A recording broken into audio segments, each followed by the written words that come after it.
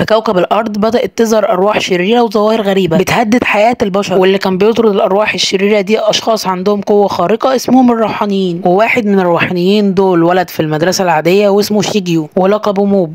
وبيكون موب عايش في مدينة اسمها مدينة التوابل وبالرغم إن درجاته في المدرسة مش عالية وجسده مش رياضي إلا إنه بيملك قوة روحانية كبيرة. عشان كده اشتغل في مكتب الأرواح مع رئيسه اللي اسمه ريجن. ريجن كان بيكذب على موب ومفهمه ان عنده قوة روحية كبيرة زيه. بس في الحقيقة هو ضعيف وبيعتمد على موب في طرد الأرواح. وكل ده عشان يكسب من وراه فلوس. وموب ما كانش يعرف ده وكان بيعتبر ريجن معلمه وفي يوم في زبونة جت لريجن عشان في روح شريرة بتطاردها. فريجن راح معاها بس ما قدرش يطرد الروح وكلم موب. فموب جه بسرعة وطرد الروح بسهولة. وريجن بعد كده اداله فلوس. وقال له زي ما فهمتك قبل كده اوعى تستخدم قوتك قدام الناس. فموب قال له ماشي. وروح اتعشى مع ابوه وامه واخوه الصغير اللي اسمه ريتسو. وتاني يوم راح مدرسته واللي اسمها مدرسة الملح. وشاف البنت اللي هو معجب بيها واللي اسمها تسوجومي. بس شوية وريجن كلمه وقال له تعالى لي بسرعة. فموب راح له. وريجن قال له إحنا هنروح دلوقتي نفق غامض بتسكنه الأرواح الشريرة. وده بسبب حادثة حصلت فيه من 30 سنة. ولما وصلوا النفق